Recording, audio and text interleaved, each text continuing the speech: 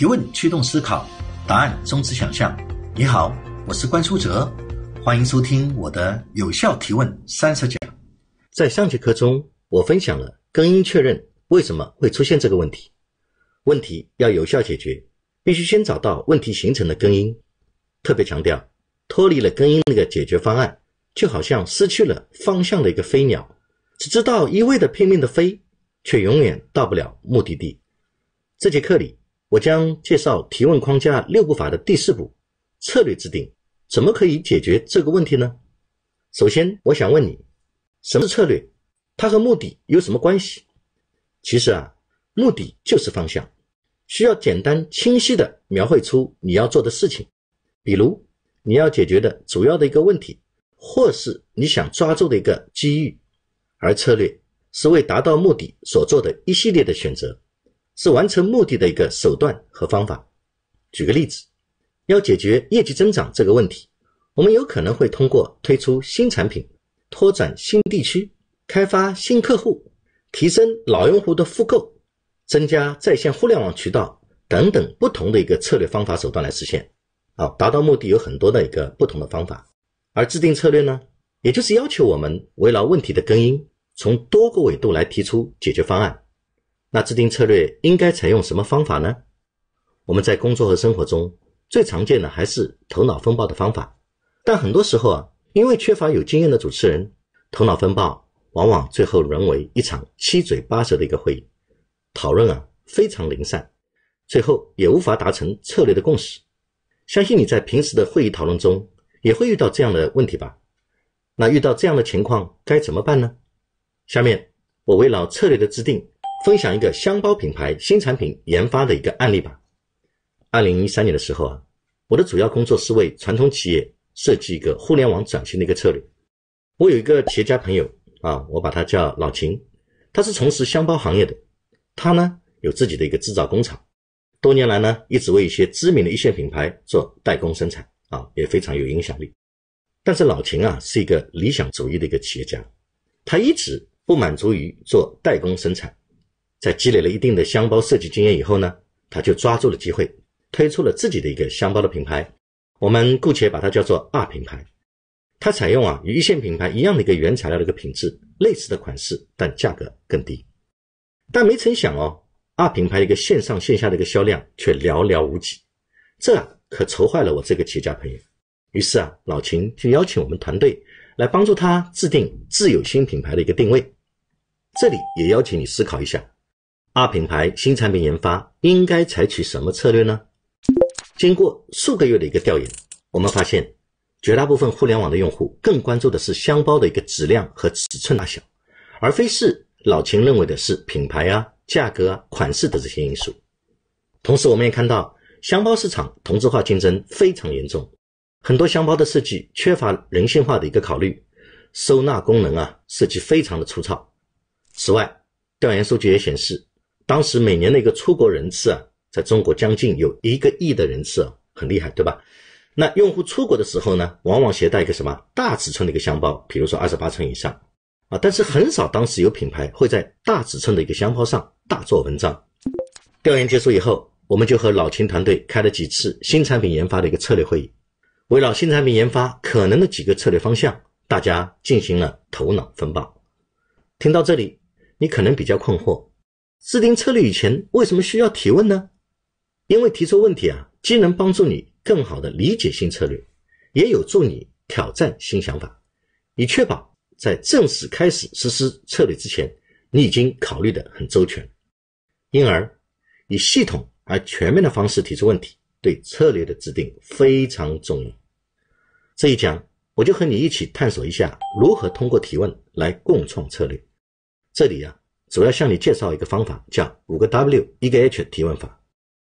五 W 一 H 提问法其实啊是一个简单实用的一个提问框架，它分别代表了 Who 谁、What 什么、Why 为什么、Where 哪里、When 何时、How 如何。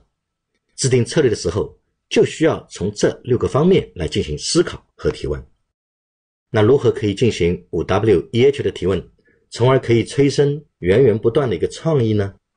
那继续回到刚才的一个箱包生产的一个案例哦，你可以根据五 W E H 的依次进行提问，同时要尽可能的多提问。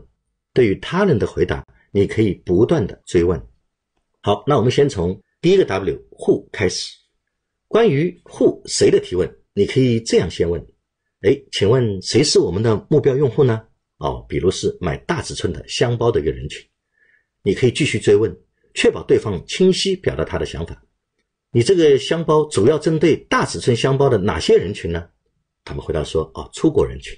那这样一个提问啊，就可以清晰聚焦核心的目标人群啊，是指那一些需要长途的一个旅行，如出国的一些旅客。那第二个 W 是 What 什么产品？关于 What 可以这样提问：哎，用户用这个产品或者功能来做什么？产品或者功能为用户解决了什么问题呢？比如，答案是要研发一个出国场景用的一个箱包，要实现第一耐摔，第二智能收纳，第三大容量的一个目的，以及提供一些智能的一个功能，比如箱包的一个位置的显示等等等等。好，你可以继续问，这个箱包应该是什么样的价格比较合适呢？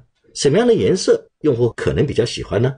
回答可能是大约两千多元，比普通的一个箱包要贵一些，颜色呢最好能够显眼，容易能够辨认。那五 W E H 第三个 W 是我们要问为什么 Why？比如你可以这样问哦：用户为什么选择你的产品而不选择别的呢？哦，因为这个产品呢跟市场同类产品不同啊，它专注于出国人群的一个人性化的考虑，更加耐摔，有更人性化的一个收纳功能，还有自动测量啊箱子的重量、防止超重和 A P P 链接等智能功能。你可以继续追问：那为什么要实现耐摔功能呢？而因为出口的箱包啊，经过多次的运输，容易破损，耐摔啊是一个刚性的需求。那为什么要更人性化的一个智能收纳功能呢？哦，因为比如说箱包里面放很多不同东西啊，啊，比如化妆品容易漏啊，对吧？那西装容易起漏啊，电脑容易摔坏啊，那名片的小东西都应该放在小夹层里面啊，最好放在外面可以拿。那智能收纳呢，可以让你放更多的东西啊，更加安心和方便啊。那关于 Y，你还可以继续问。那为什么竞争对手还没有推出类似概念的产品呢？啊，可能的答案是对手的品牌定位啊是泛人群啊，因为什么人群都想做啊，什么尺寸都想做。那往往这些对手呢提供各种场景下的各种尺寸的箱包，所以他不专注，对吧？那么五 W H H 的第四个，你可以问 Where 啊哪里？嗯，你可以这样问：我们打算在哪里生产此类箱包呢？啊，比如说自己的工厂。那么你也可以问：那未来我们计划在哪里投放广告呢？那主要考虑是在互联网上啊，因为针对的是年轻的一个啊白领的用户。五个 W 最后一个 W 是 When 何时？你问哎，用户一般何时使用我们的产品呢？啊，比如说在出国的这个场合，或者国内家人啊一起多人出游的一个场合，你使用这种大的一个尺寸箱包。那我们打算何时开始完成新产品概念的用户测试呢？啊，下个月对产品概念进行用户测试。好，现在轮到问 H 了。好，什么方法？那用户将如何使用我们的产品呢？好，箱包啊，可以附上这个产品使用手册。用户呢，拿出手机扫描手册上的一个二维码，就可以下载 APP。那 APP 里面呢，有二品牌使用攻略的一个视频，对吧？你还可以这样问：我们将使用什么样的一个销售渠道呢？啊，可以是互联网的一个第三方平台啊，比如京东啊、天猫啊等等等等。哦，你看啊，经过这样的一个提问分析啊，最后我和老秦一致认为，我们应该聚焦在箱包的一个大尺寸、耐摔，还要融合智能收纳的功能，同时最好也提出做一款能够通过 APP 拓展更多功能的一个智能箱包的这样一系列的一个概念。现在你已经学会了如何通过五 W E H 进行策略提问，最后还要分享你两个小贴士：第一，在制定新的策略以前。首先要对曾经的一个策略方法效果进行反思，好，一定要注意哦，我们团队成员啊要一起评估啊过去所做过事情的一个方案的一个得失。如果曾经的策略没有效果，要分析原因，要总结经验和规律啊，然后再寻找新的方法，否则啊很可能会重蹈覆辙。关于这一点，你可以这样提问：哎，过去我们团队做过什么？效果如何？为什么呢？好，那我送你的第二个贴士是，不要一个人哦苦思冥想的制定新策略，要多问问其他人、其他行业的做法。要产生好的策略啊，你一定要让持不同观点、不同维度的这些人啊参与进来啊。拿上面的一个 R 品牌的一个箱包来说，市场部的一个负责人可以这样问：如果新香包的一个定价为两千五百元，请问销售部的同事们会怎么看？你们能卖出去吗？同时，你要务必跳出行业，来看看其他行业遇到类似问题是如何解决的。比如，老秦邀请我们团队来做品牌定位。因为我们不是这箱包行业的，所以我们的思维啊不容易受到限制。一般而言，创新的灵感往往来自于其他行业。你借鉴其他行业的做法，要应用到自己的行业里来。比如你是做智能产品的，你可以这样提问啊：那其他行业是如何做新产品的呢？啊，像智能电子秤啊、智能手表啊等等等等。哎，你可以把他们的一个经验借鉴到自己的行业里面来。那接下来我们对本节课呢做一个小结。这节课啊。我向你介绍了提问框架六步法的第四步策略制定，怎么样可以解决这个问题？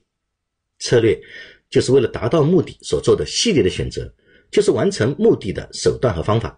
而制定策略啊，就是围绕问题的根因，从多个维度来探索多种的可能性，从而来达到解决问题的一个目的。对可能的策略呢进行有效的提问啊，你可以使用五个 W 一个 H 的一个提问法。这个工具能让团队头脑风暴，制定策略的时候呢，在一定的框架的一个范围里面进行提问，防止啊思维一个发散混乱。最后，我给了你两个策略制定的一个小贴士：第一啊，在制定新的策略以前，首先要对曾经做过的一个策略方法效果来进行反思；第二，请你不要一个人苦思冥想的制定新策略。要多问问其他人、其他行业，看看他们是怎么做的。好，今天的课程就到这里。下一节课我们将学习提问框架六步法的第五步：策略评估，选择哪一个方案。你将了解如何通过提问，从一堆的策略中选择最靠谱的那几个。好，这次带给你的本期的思考是：头脑风暴以后啊，往往会形成很多策略。那接下来在实际工作中，你是赞成用比较多的策略来达成目标，还是更愿意选择少量的策略来完成任务呢？为什么？欢迎你在留言区和我互动。